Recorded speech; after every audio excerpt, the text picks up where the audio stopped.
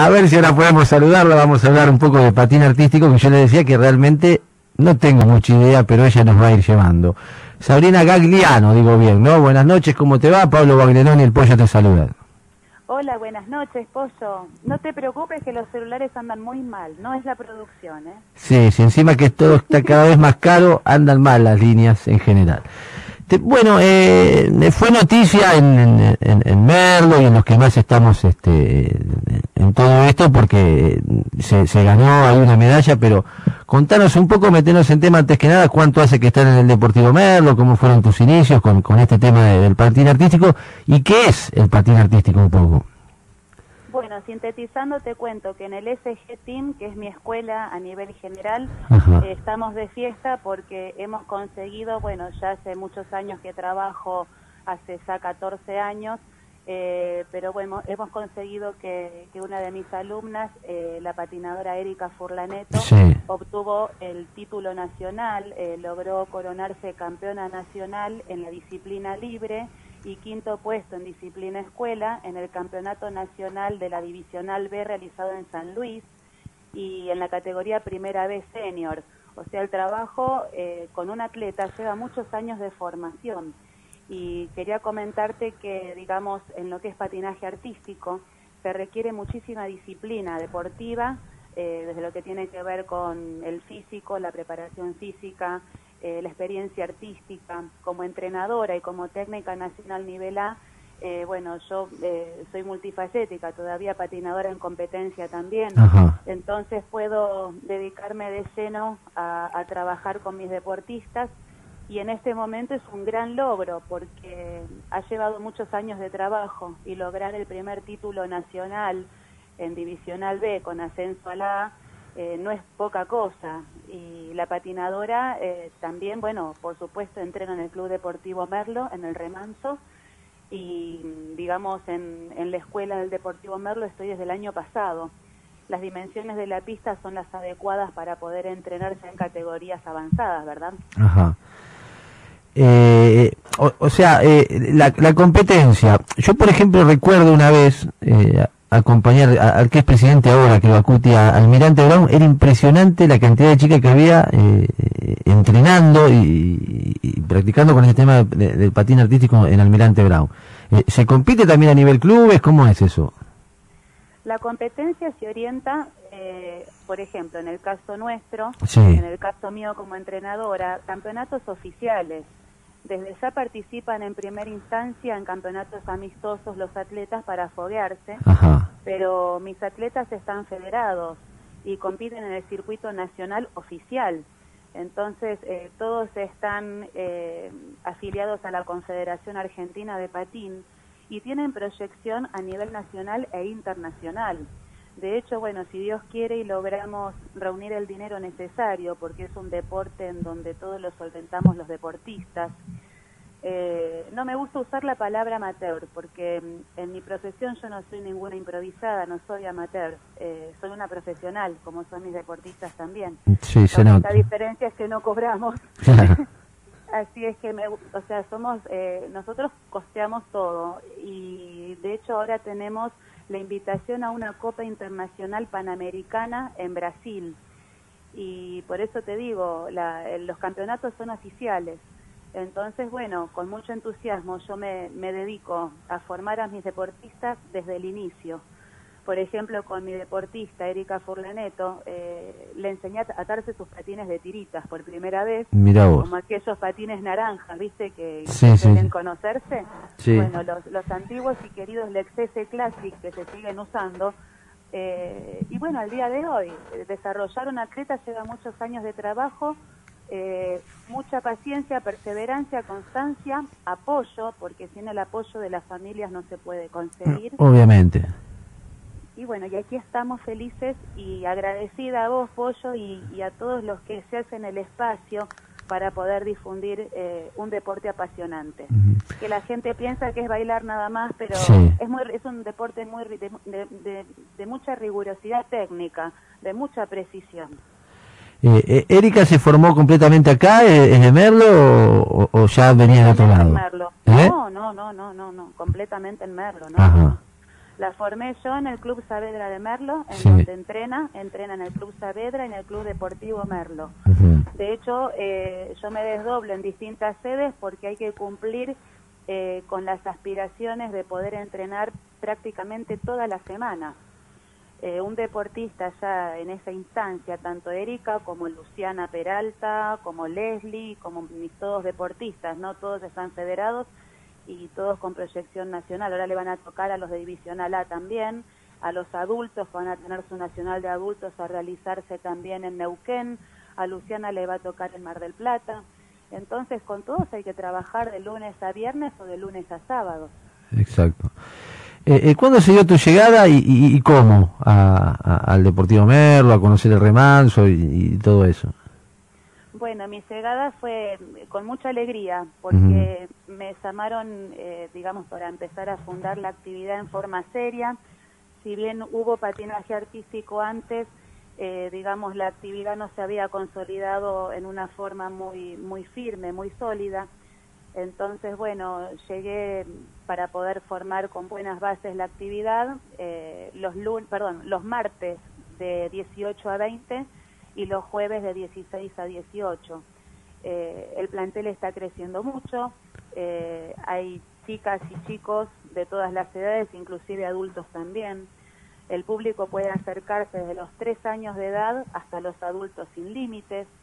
Y, bueno, están invitados a conocer una clase de prueba, por supuesto. Y después eh, comienza la práctica, el entrenamiento y la constancia, ¿verdad? Seguro.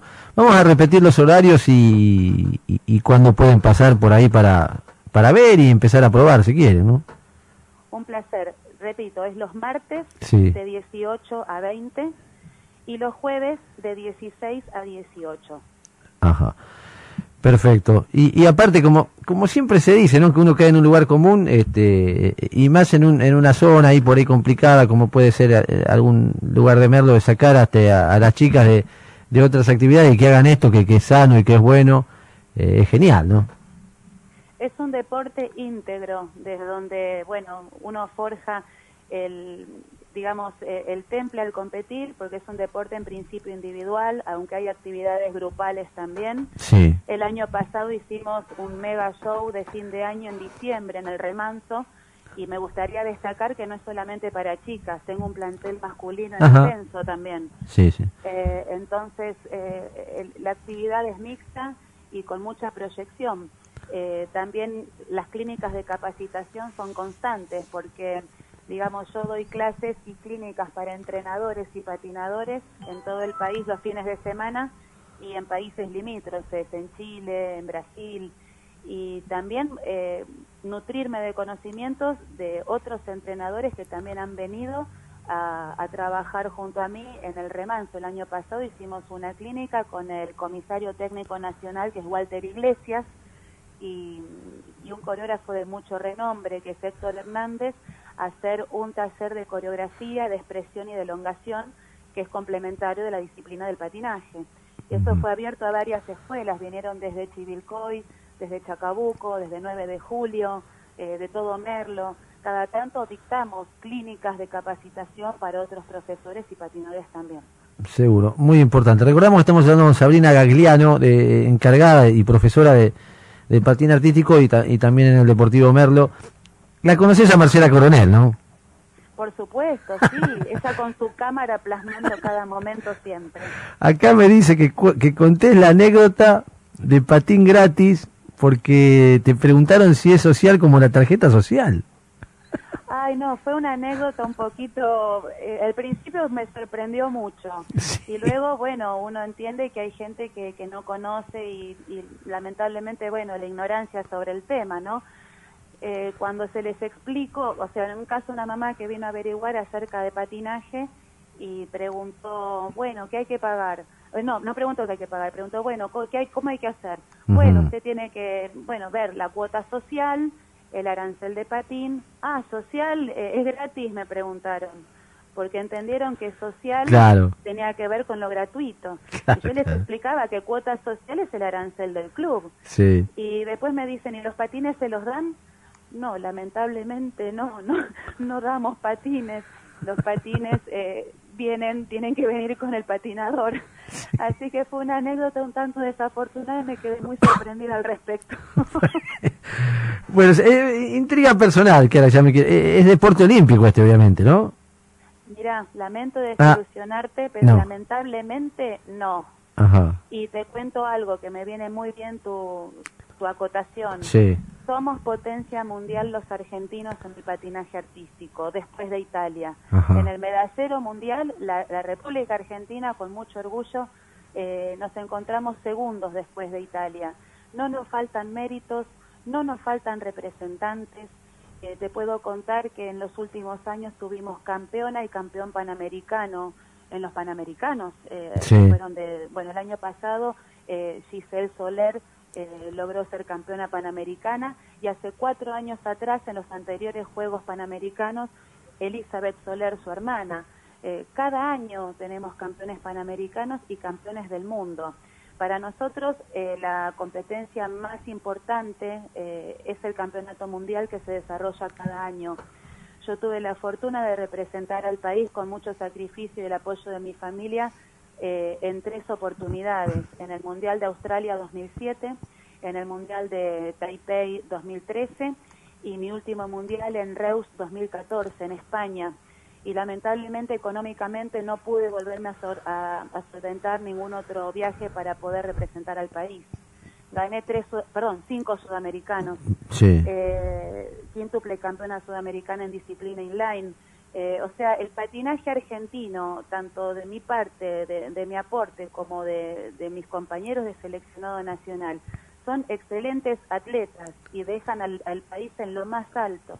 Y todavía, bueno, no tenemos difusión y eso no se sabe. Y, bueno, y no es considerado deporte olímpico por cuestiones que están ajenas a mi entendimiento, porque eh, tal vez tenga que ver con, lo político, tal vez tenga que ver con otro tipo de deportes que sí ingresa y otros que no. Eh, lamentablemente no, pero yo tengo esperanza y tengo fe de que desde el Comité Nacional de Patinaje, de la Confederación, eh, pongan su grano de arena para que puedan a nivel mundial hacer todo lo posible para que el patinaje artístico sea olímpico, porque no nos falta nada para hacerlo. Claro, eh, bueno, uno, por ejemplo, que, seguía a veces el rugby, tardó muchísimos años en volver, ahora vuelven en, Seven. Este, por eso me, nació la curiosidad de preguntar si, si era un deporte olímpico este, o no. Y, aparte uno conoce anécdotas, qué sé yo, de por ejemplo las leonas cuando no la conocía nadie, de que están dormidos en auto para, para ir a jugar a algún lado y, después lo que terminaron siendo, ¿no? Este, así que, que ojalá, bueno, en, en algún momento se, se dé esa chance, ¿no? Ojalá porque todo tiene que ver también, creo yo, con el apoyo que nos, da, que nos daría la prensa, porque en el caso de las leonas han tenido afortunadamente muchísimo apoyo a nivel mediático y no nos sucede con el patinaje. Yo eh, opino que tiene que haber un buen departamento de prensa a nivel eh, nacional para poder llevar al, al conocimiento del patinaje, porque mm, realmente opino que es eso lo que sucede. Como licenciada en Ciencias de la Comunicación, ah, me doy cuenta.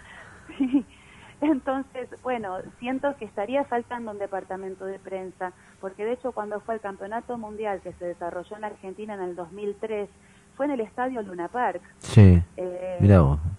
Es algo muy groso, eh, en palabras simples. Sí. Y no es, no es moco de pavo decir que somos una potencia mundial en el patinaje.